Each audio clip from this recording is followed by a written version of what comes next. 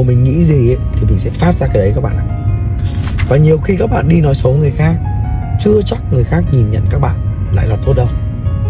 Đấy vậy nên là gì ạ? À, trong cuộc sống chúng ta ấy, thì không có ai tốt hết cả cũng chẳng có ai xấu hết cả ai người ta có mặt tốt thôi. Nên người ta mới có cái câu là hổ dữ không ăn thịt con. Ngay kể cả những cái loại động thực vật mà nó gọi là máu lạnh nhất nó vẫn là gì ạ? Nó vẫn có tình cảm và trong con người ông ta thì các bạn cũng sẽ không thể tốt hết được và bản thân tôi không thể tốt hết được. Thế nên là chúng ta hạn chế, đúng không? Đi để xấu người khác chỉ có là gì mình vẫn nói, đi nói lại là có sự thật như nào chỉ nói được y nguyên như thế thôi, nhưng mà không phản xét. Như vậy là tốt nhất. Còn lại khi mà các bạn đi phán xét bất cứ một ai, các bạn nói xấu một ai, nói là nói xấu nhá, còn đi thì cái người khác nghe chưa chắc người ta đã đồng cảm với các bạn đâu. Và có khi là ngay sau đấy người ta lại đi kể với người khác là à thằng này cũng chả ra gì đâu. Đấy vừa đi uh, kể xấu thứ này thứ kia thế bỗng dưng là gì có phải là các bạn cũng trở thành người xấu không?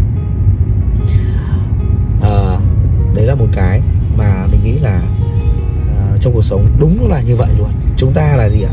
Chúng ta thích ngồi với người buôn dê bán dưa hấu thích nghe chuyện kể xấu người khác thì các bạn cũng sẽ là nhận nạn nhân tiếp theo của người và sau khi các bạn nói người khác thì các bạn lại sẽ là câu chuyện của người, người kia. Người kia lại là một câu chuyện của người kia khác nữa. Mà các bạn biết không? Kể cả cùng một câu chuyện luôn. Qua người này người kia nó là thành tam sao thất bại. Và và khi trong cuộc sống ta khi xảy ra mâu thuẫn khi xảy ra mọi vấn đề mà hiểu lầm ấy, chúng ta nên đối diện trực tiếp nói chuyện với nhau. Thì chỉ khi nói chuyện đấy thì chúng ta mới tìm ra cách tháo gỡ thôi các bạn còn nếu mà các bạn đừng có nhắn tin, các bạn đừng có ờ, nói chuyện qua đầu ngày người kia, mỗi người là một một ý. Mà hiểu, mỗi người nói một câu, mỗi người hiểu một ý rồi. Thế thành ra nó hay bị tam sao thất bại, nó hay bị hiểu lầm.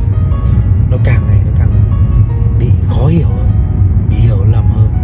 Đấy. Nên nha, thứ nhất, không nên đi nói xấu người khác. Thứ hai, không nên phán xét người khác.